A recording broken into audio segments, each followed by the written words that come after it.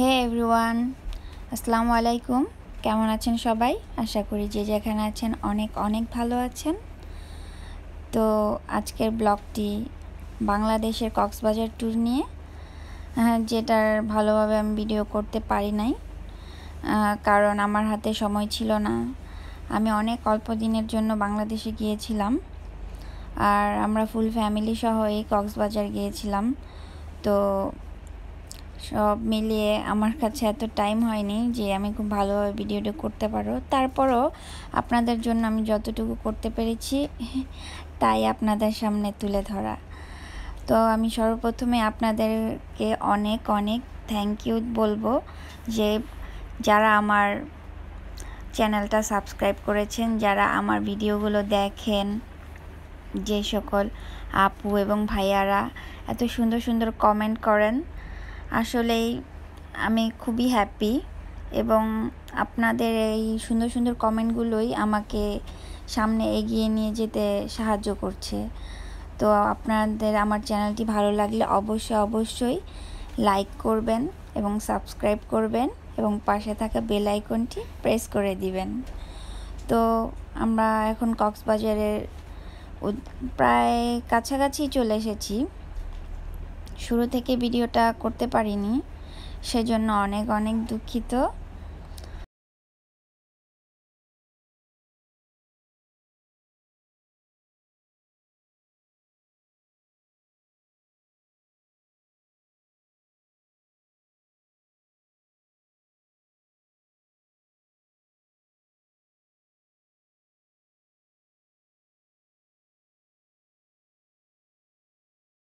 সময় ছিল, রাস্তাটাও তেমন একটা, আর জামজট ছিল না।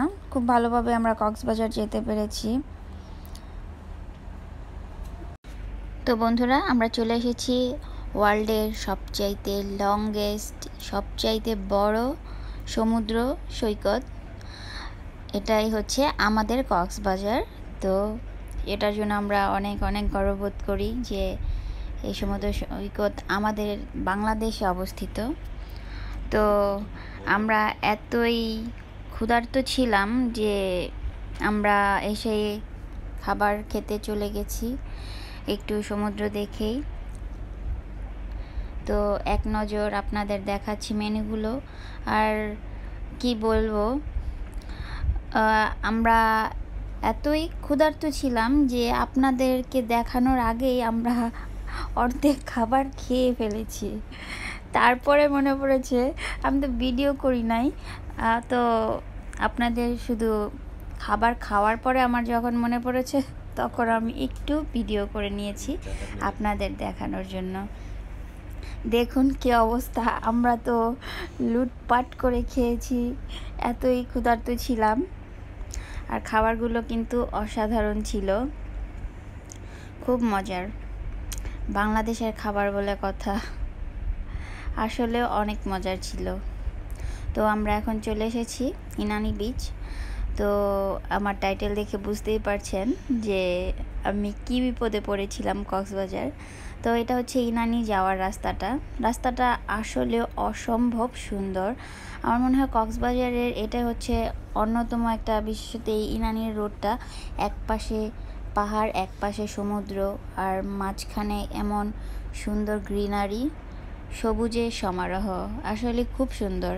আর বিপদটা হয়েছিল আসলে যখন আমরা ইনানি বিচ যেতে চাইছিলাম, আপনারা যারা রিসেন্টলি কক্সবাজারে গেছেন, তারা জানেন যে ইনানির রাস্তাটা অনেকখানি ভাঙা, সেজন্য রোড দিয়ে না যেয়ে সমুদ্রর পাশ ঘেসে যেতে হয় কিনার দিয়ে।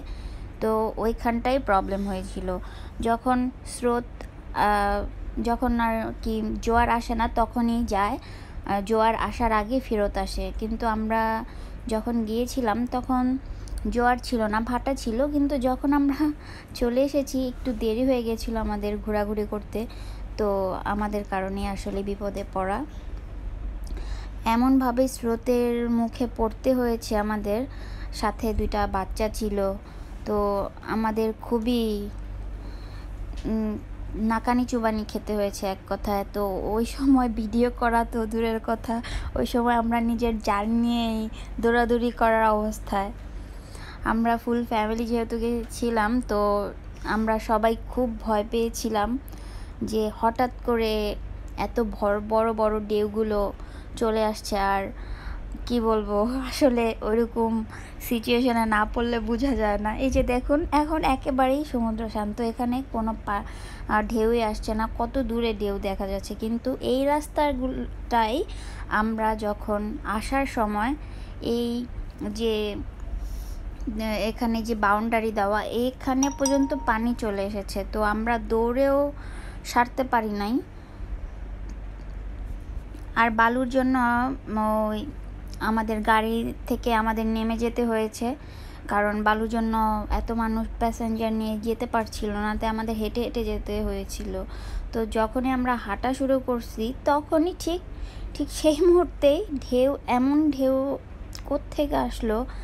আসলে আল্লাহ আমাদের বাঁচিয়ে এনেছে, সেজন্য আমরা চলে আসতে পেরেছি, কিন্তু খুব ভয় পেয়েছিলাম মারাত্মক।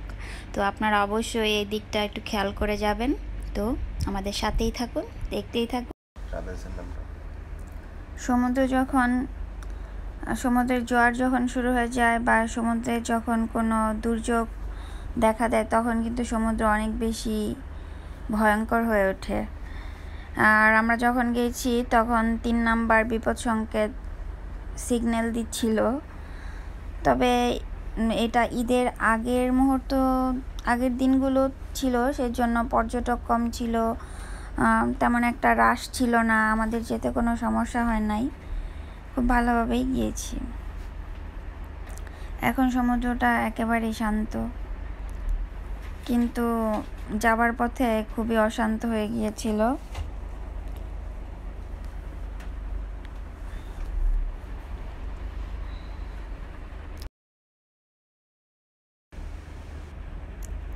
তবুও সমুদ্র অনেক সুন্দর। আমার সবচাইতে ফেভারিট জায়গা হচ্ছে কক্সেস বাজার।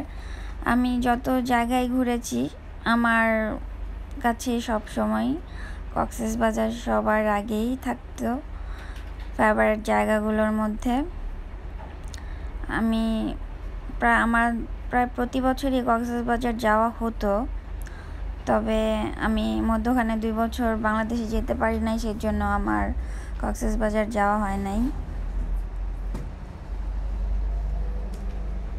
তবে যত যাই বলি, আমরা পৃথিবীর যেই কোনো প্রান্তেই যাই, আমার দেশ সবচাইতে বেশি সুন্দর।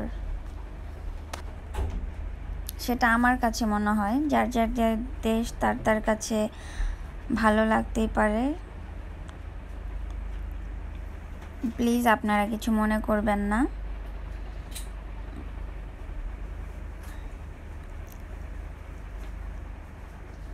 আমার তো মনে হয় যারা প্রবাসী তারা আরও এই জিনিসটা খুব বেশি ফিল করে বাংলাদেশকে, কারণ তারা যারা বাংলাদেশে থাকে তাদের এই ফিলটা হয় না। কিন্তু যারা দূরে থাকে তারা খুবই ফিল করে। আমার তো যখনই মন চায়, মনে হয় তখনই আমি মন চাই যে আমি বাংলাদেশে চলে যাই। তো কক্সেস বাজার ট্যুর এ পর্যন্তই।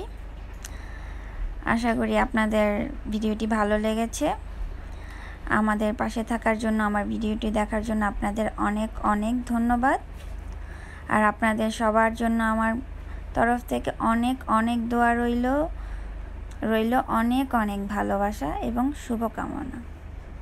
আজ এ পর্যন্তই। আল্লাহ হাফেজ।